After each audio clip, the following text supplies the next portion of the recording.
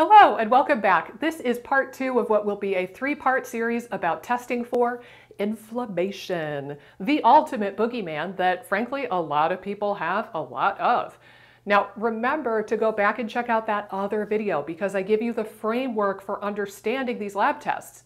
If you get these lab tests done and you don't understand the concepts talked about in the first video, they're going to be limitedly useful or maybe totally useless. So go back and check it out. Remember that when we talk about inflammation, it's very non-specific. We're trying to get more specific with each of these tests, but also acknowledge that each of these tests is only going to test for a certain flavor of inflammation.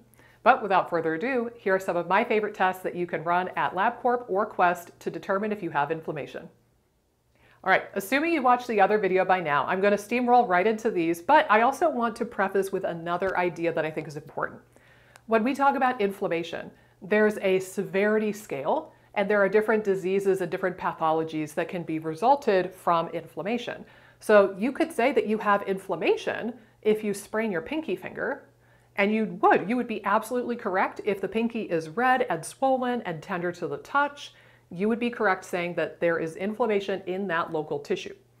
You could also say that you have inflammation if you have stage 4 cancer. Totally different varieties of soup, totally different severity level of the soup, the amount of soup the person has. So keep that in mind is that we're going to go through different patterns. We are going to talk about something that can kind of start to point you in the direction of more severe pathology and maybe getting worked up for things like cancer. But I'm going to start with more run of the mill. These are going to be useful for more people. And then we're going to get into some of the more severe patterns that you would see with things like cancer and really progressed end stage disease. Because I think that we can still learn from them and we can still understand how the body's trying to help us and protect us in each of these situations. And some of them are not limited to the severe pathology like cancer. I'll share, I actually had one of these patterns myself uh, many years ago, about 10 years ago. So I'll share that a little bit later in the video. But for starters, we're gonna talk about something called acute phase reactants or acute phase proteins. Basically, these are things that get generated in an inflammatory state, mostly because of a compound called interleukin 6, which is one of the cytokines responsible for a lot of the gnarly, nasty types of inflammation. So when there's a, an acute, like new inflammation, these things either get made or suppressed. So when we talk about the acute phase reactants, there are positively correlated acute phase reactants, meaning that as the inflammation gets higher, these things go up and up and up. There are also negative acute phase reactants, which means that they're negatively correlated with inflammation. So as the inflammation goes up and up and up and up, these things go down, down, down, down, down. Now I will say here too, all of these should be available through LabCorp or Quest. I'm predominantly going to be using whatever the system is that we use in the States. I know if you're overseas and you, you know, intelligently use the metric system, you're probably going to have different ranges for these. So apologies, but this is going to be more of what I'm familiar with here in the States.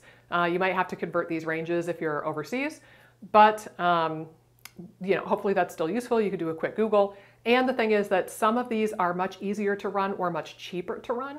Some of them are going to be quite a bit more expensive and you probably wouldn't look at running all of these. If you run just a couple of them, that'll give you more of a pattern and give you an understanding of what's going on. So the first positive acute phase reaction, we're going to go with the positive ones, the things that go up first. So for the positively associated acute phase reactants, the things that will go up in inflammation, probably the most famous that you've heard about, and I mentioned it a little bit in that last video, is CRP.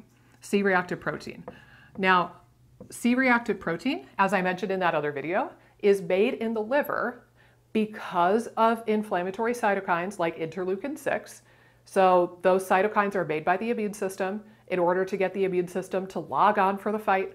And then C-reactive protein increases or facilitates phagocytosis. So phagocytosis, remember, is when a phagocytic cell, think of it like a Pac-Man cell, comes along and gobbles up a bit of debris or a bit of infectious stuff. So this could be a bacterial cell, it could be a virus, it could be a virally infected cell, it could be an old damaged cell, like when I had my ankle injury, for example. Anyway, these Pac-Man cells come in, phagocytize or engulf and swallow these compounds that need to be get, gotten rid of. And that's the entire purpose of CRP. CRP, per the current understanding in 2022, is meant to increase that phagocytosis and that Pac-Man action of the immune system. And it does a good job of it. So when we see elevated CRP, we can start thinking about the immune system being activated and maybe perceiving an infectious threat. Another one that probably a fair number of you have heard of is going to be erythrocyte sedimentation rate or ESR. This one also is widely available. You can get it through LabCorp or Quest. They tend to run this one more when you have joint pain and they're trying to look at things like arthritis, rheumatoid arthritis. For whatever reason, it, it tends to get run more with that. Um, it is helpful. I do tend to run it on people just because I like to get a broad understanding of where somebody's at inflammatory wise. But it's not as good as CRP and it's not as good as the next one I'm going to talk about. And really, what they're looking at is they're seeing how quickly red blood cells settle out of the solution when they like shake up the blood tube. They watch it and see how long it takes them to settle to the bottom. When you're more inflamed and you have a lot more fibrinogen, which is one of these acute phase reactant, well, I'll just put it here. I'm just going to put slash fibrinogen because really ESR is considered an indirect marker of fibrinogen, although both of them are acute phase reactant proteins. Um, but when you have more fibrinogen around, the cells clump together and then they fall out of solution much quicker and ESR goes up. So keep that in mind. It's, it's helpful. I do run it. I don't see it as useful as CRP and the next one I'm going to talk about. The next one is called GlycA. This is kind of the new kid on the block, to be honest. I've only been running it for a couple of years. It's that new. Um, and it's spelled G-Y-L, G-L-Y-C, capital A. So GlycA the idea with it is it's a uh, it's a marker that is reflective of all of the acute phase reactive proteins. I forget exactly how it works, how they do the assay, but it's it's supposed to be reflective of all of the other acute phase reactive proteins. I will say I run both of the I run all three of these typically, and I've seen many cases where C-reactive protein and ESR are normal, but GlycA is elevated. Um, in my mind, uh, oh, and I forgot to tell you, so CRP, I want that as low as humanly possible. Below 0.5 would be fantastic, but the LabCorp range says that you're good as long as you're below 3. Um, I think below 0.5 is where you need to be though. ESR, the lab range is like under 20, I think, but likewise, if you could get it down to like 0, 1, 2, that would be superb. GlycA, I don't have as good of an understanding of the range because I've only been running it for a few years, but generally I want it below about 330. And I think the LabCorp reference range is a bit higher than that, like 350 or 400. So usually if I could get it down into the low, low 300s, uh, that would be really ideal. Uh, the nice thing too is that not only is this an amalgamation of a lot of the other proteins that we're talking about, it has a much longer half-life than CRP. So you could have you could have a bad day and be really inflamed and CRP is high. And then because CRP has a pretty short half-life, 19 hour half-life, you go to LabCorp two, three days later and CRP could look pretty normal versus GlycA is going to stay elevated for quite a bit longer. So I think that's what's happening when I see that pattern of GlycA being elevated and CRP being normal. I think that probably what's happening is that the inflammation level is waxing and waning from day to day, week to week, and I'm just catching it at a point where CRP is normal and Glyce is still elevated because of that longer half-life. But I have found this to be really, really helpful. Of note, this is only available through LabCorp currently in the States. Quest does not run this. So um, I'm going to provide a link down below for direct labs where you can get blood work done without a doctor's note, without a prescription. Uh, they don't have Glyce yet because they contract through Quest. So just keep that in mind. But you could do any of the others if I remember correctly. The next one that not a lot of people know or appreciate is ferritin. So ferritin is of course known for iron storage. That's predominantly what it's used to test. And low ferritin is indeed a marker of iron deficiency, and it is something that I track particularly in women, but I measure it on myself as part of a yearly every single year. Um, but the other thing is that your body upregulates iron storage when you're inflamed. It's because of those, those interleukins like IL-6, and you actually store much more of your iron as ferritin. So I've seen situations where like the, the CBC and the iron panel looks like iron deficiency, but the person has normal ferritin, but they also have high CRP and GlycA. So with that sort of a pattern, I'm thinking, ah, your ferritin is artificially elevated because you're inflamed. So what I was trying to say is that when I see that pattern of other inflammatory markers elevated, but ferritin is looking normal or maybe elevated, but the CBC and the iron panel looks like you're iron deficient, I'm thinking that it's the combination of inflammation and iron deficiency that's evening out the ferritin. And we're not going to use ferritin as a marker for iron deficiency in those cases. So you could use different tests to get a pattern and get an understanding of what's going on with you as an individual.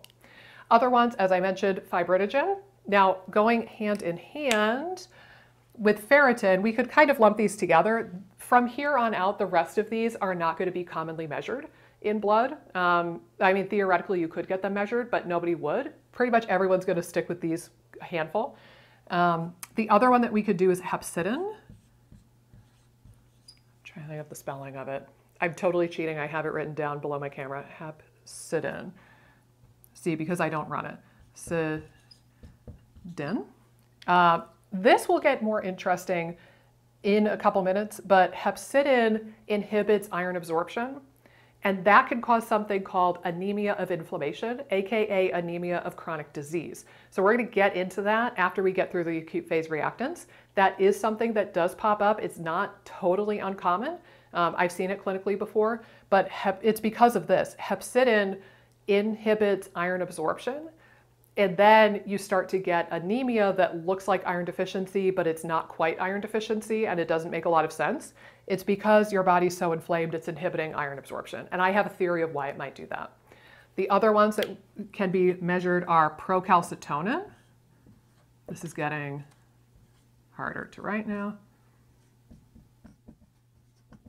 Procalcitonin. And last but not least, serum amyloid. Again, these are all the acute phase. Oh my God, I can't write at this angle. Eh, that's not bad. Considering what a weird angle I was writing at, I'm kind of proud of that. Um, so again, hepcidin, procalcitonin, serum amyloid, they are acute phase reactant proteins, but nobody's going to measure these. So really just stick with here up if you want to look for this pattern. And finally, let's get into the negatively correlated acute phase reactants. You can think of these less as markers of inflammation in the traditional sense. Again, these are the guys that go up in states of inflammation. You can think of these more as um, downstream occurrences that happen with inflammation. So for example, albumin is one of the main types of protein found in your blood. When you look at a metabolic panel, you'll see protein, and then underneath that, you'll see albumin and globulin, the two main types of protein floating in your blood. Albumin in particular tends to go down when you're more inflamed. So if you look at the lab reference range from LabCorp or Quest or what have you, and you're at the bottom part of the range, like bottom 25% maybe of that range, you can maybe put two and two together. I will say also that just protein levels decrease if you're not eating enough protein. So you could also be dietary protein insufficiency. Uh, Prealbumin is going to be a topic I get into in a future video. I'm doing a deep dive right now. I'm making a new mini course called Malabsorption Mastery that I'm very excited about. And prealbumin is one of the markers that might be a marker for malabsorption syndrome broadly. Um, so that's something I'm going to talk about a little bit later on, but it appears that prealbumin goes down in states of inflammation when those acute phase reactant proteins are elevated. Transferrin is involved with iron metabolism, so same kind of idea with the ferritin being involved. Your body starts to tinker with iron regulation when you're more inflamed. There's a lot of speculation of why that would be. Um, retinol binding protein goes down. We're getting into like Transferrin, maybe yes or no, but definitely from here down, I wouldn't think that you would run these on a normal battery of, of blood work. But just for what it's worth, retinol binding protein goes down. I think probably because, and I have, I have read no research on retinol binding protein, so I'm purely speculating based on my knowledge of anatomy and physiology. But retinol, vitamin A, is very, very, very profoundly, wonderfully anti-inflammatory. And it helps right with the regulation and the function of the immune system. So I think retinol binding protein goes down so that more of your retinol is freely available to use in states of acute inflammation. That's my bet, at least. Again, I've read nothing on that, so don't quote me on it, but that's what I'm thinking probably is happening there. And then antithrombin, again, you can start thinking of this idea of like clotting. We're going to talk about platelets in a little bit, like the ESR, the fibrinogen. Your the viscosity and the clotting ability of your blood changes in states of acute inflammation. So antithrombin is another example of that. But like I said, similarly, really, if you're looking for tests that you can get done at the doctor's office and they would be indicative of inflammation, sorry, that's kind of obnoxious, you're really looking from here up, so red dotted line up, ferritin, glyce, only available through LabCorp, ESR, and C-reactive protein. I would not run fibrinogen because you can just run ESR for way cheaper. And then you can get this done easy peasy as part of a comp metabolic panel or CMP. So that's the test that's going to look at BUN, protein, AST, ALT, all of like the liver and kidney kind of function tests. You're going to find albumin as part of a CMP. That's like a five or ten dollar test. So that one is going to show up if you just slap a CMP on whatever blood work you're getting done. All right, believe it or not, that first part of the conversation with the acute phase reactants was the more straightforward part of the conversation, in my opinion. We're getting a little bit more in the weeds now, but hang with me because there are some more markers that can be indicative of inflammation, again, of soup. First of all, there's a couple of just miscellaneous things that I didn't get to fit in with the acute phase reactant conversation. What is homocysteine? This is moderately commonly used. I find that it's run a little bit less frequently than C-reactive protein. I like to run them together because they look at way different stuff. So again, CRP made in response to inflammation from the immune system. Your immune system's kicking it into high gear to try to protect you from something presumably infectious. And then CRP helps your immune system gobble up stuff more efficiently. Homocysteine is completely different. This is more of a metabolic inflammation marker, and it's very specific to two things. B vitamin intake, or adequacy or inadequacy, and protein intake. I have seen homocysteine elevated because people are blatantly deficient in B vitamins, most notably folate and B12. But I've also seen homocysteine that is persistently high in people who are taking good versions of B vitamins and they're getting enough intake, not because the person has malabsorption, which is the thing everyone would jump to, but because they're eating too much animal protein. Animal protein is very high in methionine, and methionine gets turned into homocysteine. So if you're taking in too much methionine-rich animal protein, like muscle tissue, you run the risk of having high homocysteine. And to that note, I'm actually very curious. I wonder if people on the carnivore diet would be more prone to having high homocysteine, just knowing how the metabolism works. I'm not saying it's it's for sure a thing, but I kind of wonder if that's a thing. Anyway, we'll see research on it someday. So homocysteine, think B vitamins, and questionable if you're consuming too much animal protein and too much methionine. Number two, that again fit into the miscellaneous category here, is uric acid. Uric acid is most famous for gout, gouty arthritis. However, not well known or not, um, not commonly known, uric acid is the most abundant antioxidant floating around in your bloodstream. It's an antioxidant, guys. So I could see this one being indicative of inflammation in two different ways. If uric acid is high, then I would assume that your body is trying to pump out more of this antioxidant to deal with inflammation, to try to quench the inflammation. And that does very much seem to be the case in cases of gout. There's a lot of research on something called the NLRP3 inflammasome and gout and the uric acid being involved in that. So I think that that is actually pretty well proven right now. I also speculate though, because it's an antioxidant and the antioxidant is going to quench inflammation, I wonder if low uric acid could be a bad thing too, because it's like you have so much inflammation that your body has burned through all the uric acid. I don't know if there's as much research to support that. Definitely high uric acid being linked with inflammation is a very well established thing in the literature. I don't know about the low comment, but Again, just trying to give you guys the most clear, well-rounded picture, complete picture that I can. Um, the other thing is that tissue-specific markers can be indicative of inflammation. Because again, inflammation is not always your entire body. It can be very tissue-specific. So for example, if you have elevated LFTs, liver function tests, like AST and ALT, that is happening because there's tissue damage and inflammation in the liver. So elevated AST and ALT, liver function test, that is a inflammatory marker. It's not an inflammatory marker in the sense of like your whole body is inflamed, like we traditionally think of when we're talking about testing for inflammation, but it is an inflammation marker. Similarly, knowing some of the physiology of what will cause inflammation in the body, if you are insulin resistant and you have high glucose, high A1C, high insulin levels, we know that that's going to cause inflammation we don't need to look for the inflammation. Just seeing the insulin resistance proves that you have inflammation to begin with. So it's stuff like that. You can kind of read between the lines at some point with this. Anemia, you would be hard pressed to not be somewhat inflamed if you had anemia because you're not getting oxygen to the tissues. That is in and of itself inflammatory. So there's a lot of like tissue specific markers or disease specific markers that can be indicative of this. Similarly to autoimmune antibodies. If you have elevated antibodies against self tissue, like your thyroid or your joints, you know that there's at least inflammation in that target tissue. Whether or not it's systemic broad inflammation or if it's localized to that one tissue might not matter a whole lot. You know you have inflammation in at least one tissue. Now, moving on to, so the, the all of the prior conversation was more framing as like what most of you will deal with and what most of you think of when you think of testing for inflammation. The next two things I'm going to talk about briefly have more to do with really serious pathology.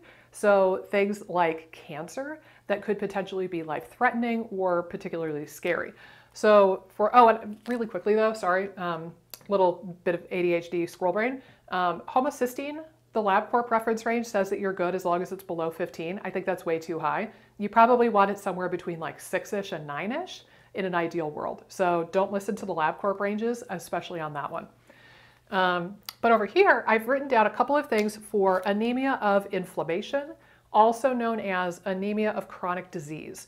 So when you look at the research on this, it's a fascinating world to get into. Really, it's researched predominantly in cancer patients. And I think it's the body being really, really smart because your body knows, say if you had stage four cancer and you were fighting for your life, you would not want to foolishly expend your energy running a marathon. Like you want to focus your energy and focus your attention on healing the body. So the theory is, and I do believe this is true, the theory right now is that anemia of chronic disease happens because your body is intentionally trying to make you tired and it's trying to throttle down your ability to do too much activity because it knows it needs to focus on bigger stuff. So, that being said, uh, because it's anemia, that would be characterized by low red blood cells, hematocrit, and hemoglobin. That's like the standard textbook definition of anemia. This one also would have low MCV, MCH, MCHC, so those are the things that come next in the CBC. These two things together look very much like iron deficiency, right? Like microcytic, hypochromic, anemia, this is the classic for iron deficiency, but then the plot thickens. Serum iron usually is also a bit on the lower end. Okay, it's still tracking well with iron deficiency, right? Not necessarily, because iron saturation TIBC, total iron binding capacity, which would be seen on an iron panel, and ferritin tend to be, um, well, they tend to be normal. I'm trying to think of how I want to depict this on this chart. I'm just gonna, I'll do this. Within normal limits, WNL. So iron saturation, TIBC, and ferritin tend to be normal or very close to the normal range. The big one that I tend to look at more so with this is TIBC. Um, that total iron binding capacity goes up if you're iron deficient, and it'll be low or normal if you're not iron deficient.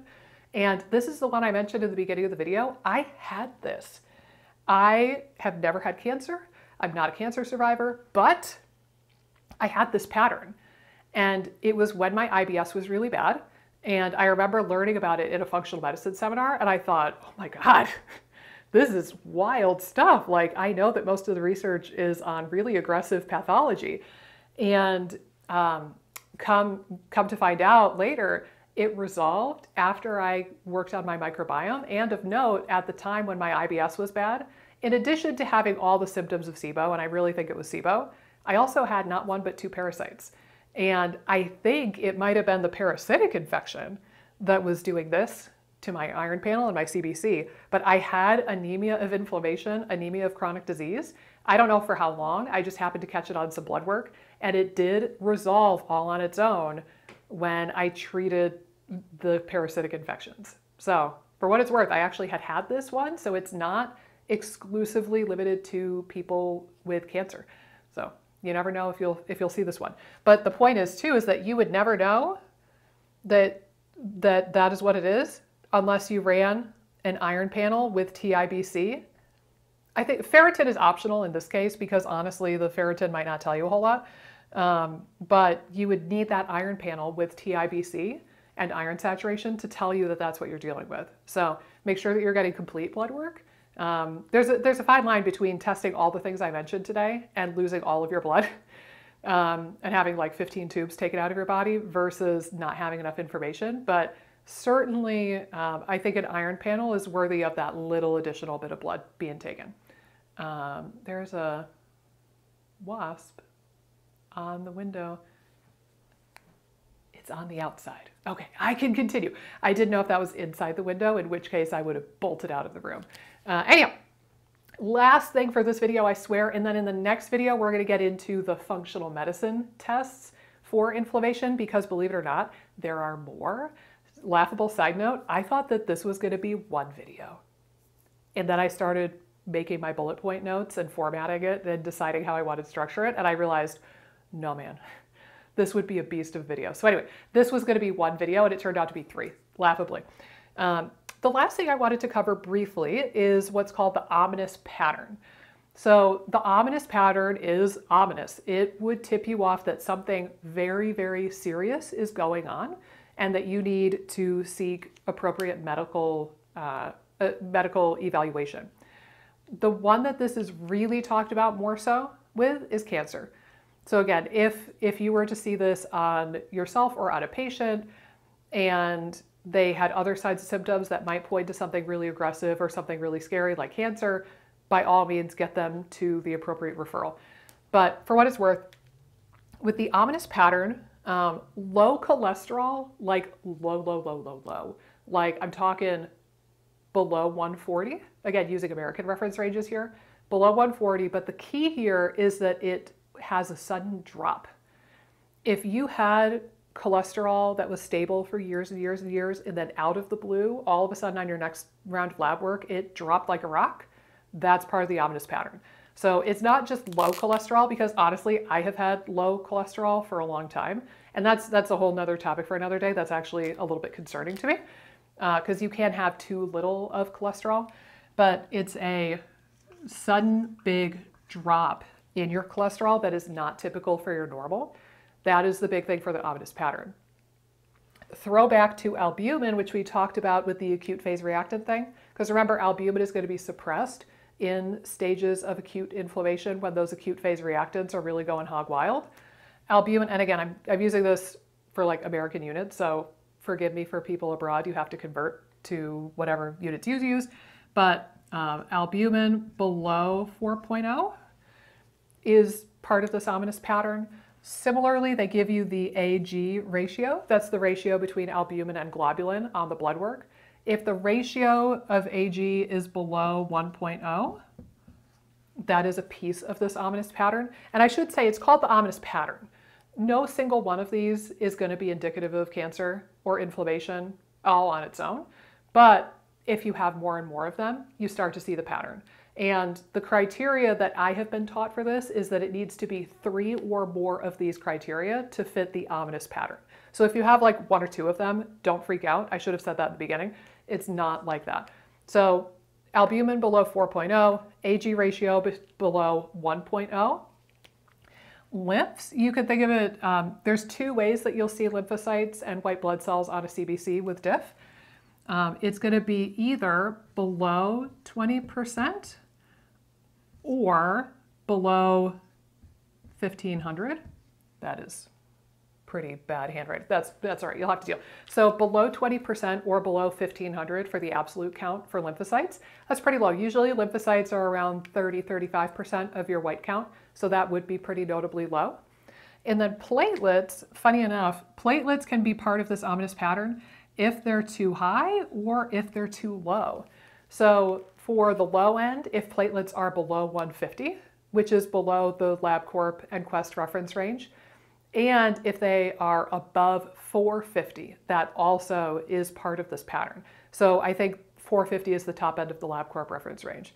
So if you're sitting here thinking, gosh, I know I'm inflamed, oh my gosh, if you've got some of this stuff going on and you have this pattern of like low lymphocytes, platelets either super low or super high, albumin's low, your cholesterol tanked all of a sudden out of the blue, this is the sort of stuff where I would honestly really want to refer you to some sort of a cancer screening, whether you do like thermography or MRI, or you go to your primary care, or you get referred to an oncologist. But if you have three or more of these, that is indicative of really severe inflammation, most notably cancer. So I felt like it was my duty to at least share this with you. But acknowledging if you're here watching my channel, chances are you're not here to learn about cancer. Chances are you're thinking more about like um, the non-cancer types of inflammation that we encounter much more frequently on a day-to-day basis. So a lot, most of you won't have to worry about this, but I felt like it was worthy of talking about in the context of testing for inflammation. And that's all there is to it. That's all you need to do to test for inflammation. Who knew it was that easy, right? You just need 50 some odd markers. I don't know. I, you know, I'm sorry, but also I'm not sorry. You guys know my deal by this point. This is video number 250 something on this channel alone, and then we have 100 episodes on the IBS Freedom podcast. You guys know my deal. I would rather be thorough and honest and give you a complete view of whatever we're talking about rather than just dumbing it down and saying, eh, just run C-reactive protein and you're, you're good to go. That's the end all be all of inflammation testing. It's just not true. There are different types of inflammation and locations and patterns, and I hope that this was helpful. Let me know in the comments down below if you have had any of these tests done. If anybody else has had anemia of chronic inflammation, I like I can't believe I had that, but I did. Um, I'm curious if any of you guys have had some of these patterns before or any of these markers abnormal before. And I'm curious if any of you have experienced that oh so common tale that I mentioned at the beginning of the video where the doctor says, eh, you're fine, you don't have inflammation, yet you feel inflamed and you know that you have inflammation. I've heard that from nearly all of my patients or all of my students at some point or another, so I'm curious if you guys have experienced that too. Speaking of students though, for those of you who don't know, today should be Friday, August 19th, 2022, and FODMAP Freedom, my group coaching program, is opening for the last time in 2022 on Monday, August 22nd. But here's the key. It's only opening up to the folks who are on the wait list this week. Those guys get early enrollment dibs and a super special bonus gift when they enroll. So if you're waiting around for me to publicly announce it on YouTube or Instagram or email, you're going to be waiting around and it might be too late because we almost had to cap the enrollment in the spring. I want to keep it a smaller, intimate group so that I can help each of you individually. I don't want this to be like some massive things with hundreds of students, and I feel like I'm not able to help each of you individually. So if you're on the fence about FODMAP Freedom, join the waitlist like now, right now. I'm going to put it in the description and the first comment. Getting on the waitlist is non-committal. You don't have to join. All it means is that you're going to be the first to know when it's open. You're going to get that email and you're going to get to sign up before everybody else does when I post the link publicly on Instagram and YouTube. And that's really critical because, again, we're going to have to close the enrollment at some point, I think, in the second week. So you want to get those emails first.